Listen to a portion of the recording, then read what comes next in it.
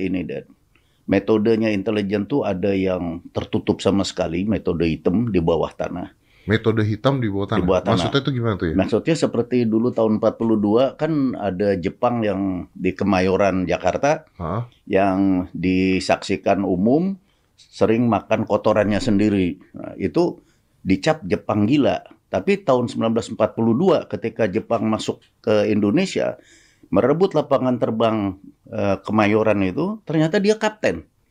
Yang, Jadi yang makan kotoran. Iya, memang itu, itu ternyata kapten tentara Jepang. Berarti dia tuh intel. Ya, Intel. Nah, itu metodenya hitam. Itu metode. Jadi dia tuh ya, dia dia intel pura-pura jadi orang gila. Iya, pura-pura orang gila. Dan kira dicap itu sama eh, semua orang di sampai ke Bendungan Jago apa dulu kan teman saya Benyamin Suaib.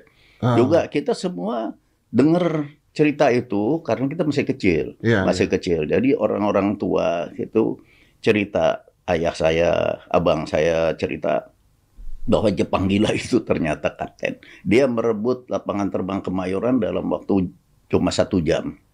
Jadi begitu datang direbut semua Belanda nyerah. Karena nggak ada orang yang mempedulikan dia. Iya, karena dianggap gila.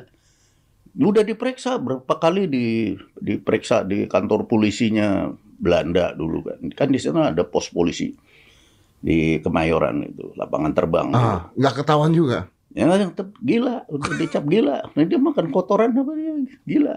Tahu-tahu dia dia mimpin pasukan ngerebut lapangan terbang. Dia ngerti lah. Berarti itu eh, itu gelap tuh ceritanya. Itu gelap. Itu namanya metode hitam.